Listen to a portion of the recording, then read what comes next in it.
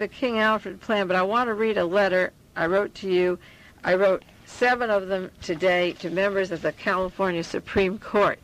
If you want to write to your assemblyman again about the death penalty or send a wire tonight, it would be appreciated. I think you should say in the letter again that there's innocent people. Nothing like this should be mandatory. But there's a loss, another thing coming up before the Supreme Court, a decision this week, uh, September the 7th, regards the San Quentin Six, and it's a request by Hugo Pinell, whose name I've mentioned on the program many times, to have the shackles removed from him at the San Quentin Six are going to trial on the George Jackson shootout that day where two guards and three inmates were killed. And these men go to court with chains so tight on their wrists that their wrists bleed and their legs are chained together and there's chains around their groins and their necks are chained and their hands are chained to their sides and they're chained to their chairs and then they're behind glass partitions and they're dropped when they're chained and when they're moved and they're provoked with verbal assaults, physical assaults. They're beat up in the holding rooms.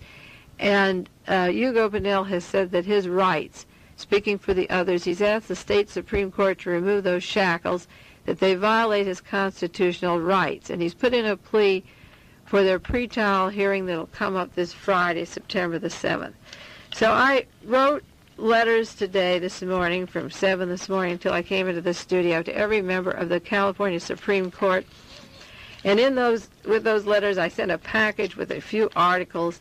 And this, I'll read you what I wrote to them and uh, just mention the articles that are enclosed. And this is what I said to them. This is the Dear Justice Burke. And I sent one to Mr. Tobriner, and Mr. Wright, and Mosk, and so forth. And uh, this is what I wrote. And you might write to the justice, any justice of the Supreme Court, or go to your library and get the list of all of them if you're so inclined, and follow this up if you want to. I appreciate it if you would. What I said was, Dear Justice Burke, I'm writing to you regarding the shackles on Hugo Pinell and other defendants in the San Quentin Six trial. Mr. Pinell alleges his civil rights have been removed. They have been denied him throughout his confinement. The shackles should be removed at this point of time in U.S. history for the following reasons listed below. For one year, I have been researching into the charges placed against Mr. Pinell from the time of his first arrest to the present date, and I'm writing a book illustrating how the title Most Dangerous Criminal in California was placed upon him by the way of various provocations, injustice, humili- injustices, humiliations, and indignities. Guards and prison authorities create a fictitious image of Mr. Pinell by manipulation, and his charges are based upon trials and appearances that make him appear to look guilty. Point number one. July 1970, Richard Nixon signed into existence an illegal intelligence operation which was intended as the future American Gestapo located inside the White House. Two, this interagency plan was never rescinded December 1970 to January 1971, Judge Morell Sharp from Seattle was at the White House considering the offer to head this secret group. No orders ever went out to rescind the plan. Three, the plan was to use all armed forces and intelligence agencies against radicals, anti-war protesters, Black Panthers, minorities. Radicals included Democratic candidates for 1972. July 1970, the same month that this agency went into operation, the Defense Department from the Pentagon assigned Stanford University to research a study on how to indu- induce artificial paranoia in blacks.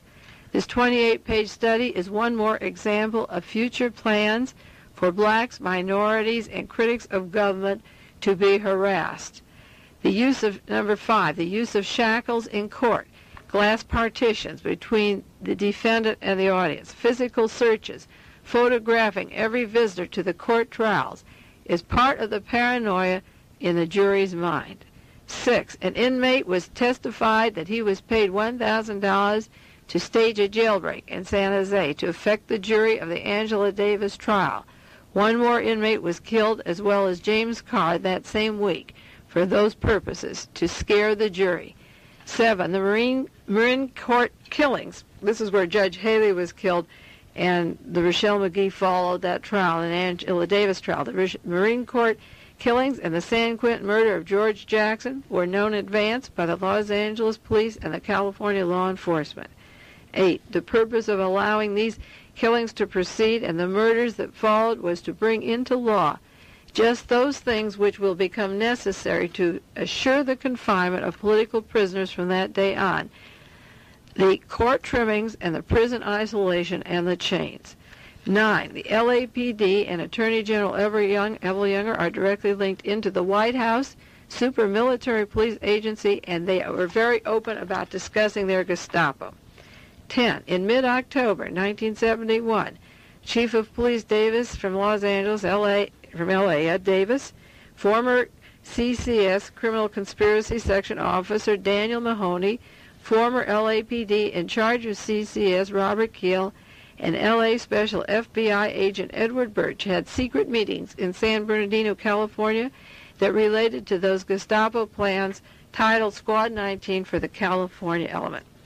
Number 11, the same Sergeant Mahoney that attended the San Bernardino meetings allegedly killed Jonathan Jackson up at Marin County shootout. As scheduled, the LAPD had foreknowledge. Uh, this is from Los Angeles with love to the Marin County. Number 12, Ed- Eldridge Cleaver embarrassed the prisons and USA racism by writing a book. From that day on, the word in the California prisons was to kill George Jackson before we get another Cleaver. Many offers of parole went out to prisoners if they would do this for them. Hugo Pinell, writer, poet, friend of George Jackson, was singled out for the same reasons that the other enemies, Cleaver and George, were murdered. He's a defendant now in this trial and wants his shackles off. Judge J. McMillan in North Carolina stated that the First, the Fourth, the Fifth, and the Fourteenth Amendments to the Constitution were denied white citizens, students, during the Nixon Billy Graham rally. But who speaks out for the blacks or the prisoners or the minorities whose constitutional rights have been violated while they are confined or arrested or even on the streets? 14. The National Security Council, with their King Alfred plan to kill blacks and the heliotrope plan of the Pentagon to kill Indians, Mexicans, Latinos, seems to be functioning and profiting through the court system. 15. Will the courts in California please halt this madness? Shackles are not to protect society or the courts or the judges. Their purpose is to affect the juries to increase provocations and scare the jury to believe that these are dangerous animals that are chained up. Herbert Mullin, confessed killer of 14 in Santa Cruz, who happens to be white, went to court in a proper suit with no shackles because he is white. He was not provoked by guards or beaten up. The browns and blacks are made to appear as dangerous animals. Please stop this. Signed, Mae Brussell.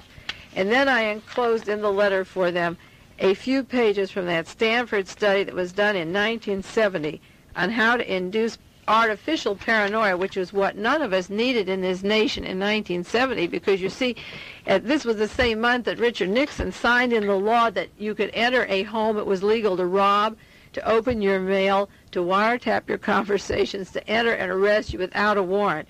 This was all happening. But Stanford, from the Defense Department, had a study with questions like, uh, do you worry? Do they tap my phone? Does it frighten you to be observed? Uh, do you worry if, if you've got something on people? You know, it, it's about the mafia. Are you afraid of them? Uh, do you have incriminating evidence against anybody? And this is one page from a study about wiretapping, being frightened, uh, getting evidence on somebody. Uh, in, Rockefeller just put through in New York a, a $1,000 reward to inform on somebody who has drugs or grass or even LSD to send them to prison so people can be informing on you. But in 1970, they wanted more artificial paranoia. So the Defense Department, I sent the members of the Supreme Court some of that. I sent them a copy of a lawsuit placed by Alan Mancino, who was in the yard when George Jackson was killed, and he has placed a $450,000 suit against the guards in San Quentin. Mancino said He's now on parole and he lives in, in Seattle. But he claims in the suit that when the firing stopped in the yard, the day when these men were killed, He and other prisoners were stripped and chained and forced to lie naked in a courtyard lawn. He was shot by a prison guard. He was left for more than an hour without medical attention. He charged he was finally uh, treated and forced to undergo surgery to have the bullet out without any anesthetic. And then he was locked in a medical cell where a hood was put over his head, and he was beaten until he made a statement against the fellow inmates in the adjustment center, and that was the basis upon which the San Quentin Six was to be arrested. He was later transferred to a Nevada state prison, held incommunicado in a medical care, and he was told he would suffer if he made any waves. He is living in Seattle. He was never allowed to talk to any newsman, and now he want, he's placed a lawsuit, uh, $450,000 against the guards in San Quentin. I had sent them another article from te- testimony of Mr. Mo Camacho, president of the California Correctional Officers Association, saying how they were going to take members of Congress came out to see what was happening in our California prisons, and Mr. Camacho testified we're going to take the revolutionary violent inmate and separate him from the general population that he can't mingle with the other people that if they have opinions or reasons that would be a source of revolutionary activity they should be separated he said attorney general Evelle Younger only last week said circumstances of incarceration provide a situation conducive to enlisting men into revolutionary movements so we have to remove those political prisoners before uh, they are an influence on the other prisoners. So their recommendation was that the revolutionary inmates be housed apart from the confronting inmate population, the faster the better, as a solution to halting the prison bloodbath. So these particular men on, in the adjustment centers are isolated 23 and a half hours a day from every part of the prison population like animals and beasts and can see nobody, no movie, no television, no music, no posters, nothing to decorate their cells. They can't move about because a great deal of them are innocent. And if they cry their innocence, they say, oh, you're getting too smart-assed, you're political. Out you go.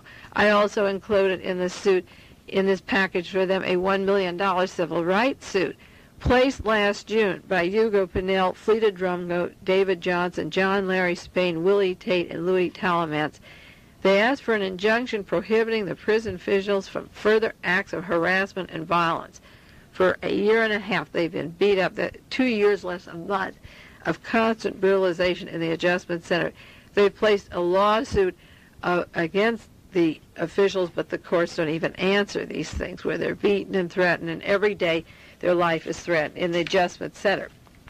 They sent a copy of the decision of Judge James, Judge James McMillan down in North Carolina on the uh, constitutional amendments that were denied uh, people to assemble at the Billy Graham uh, meeting with President Nixon and saying if those were denied, these white middle class students, imagine what's going on in our adjustment center. And then I enclosed an article, a study that was done by Philip Zimbardo from Stanford, who simulated prison conditions, confinement a guard and a prisoner with middle class white Stanford students.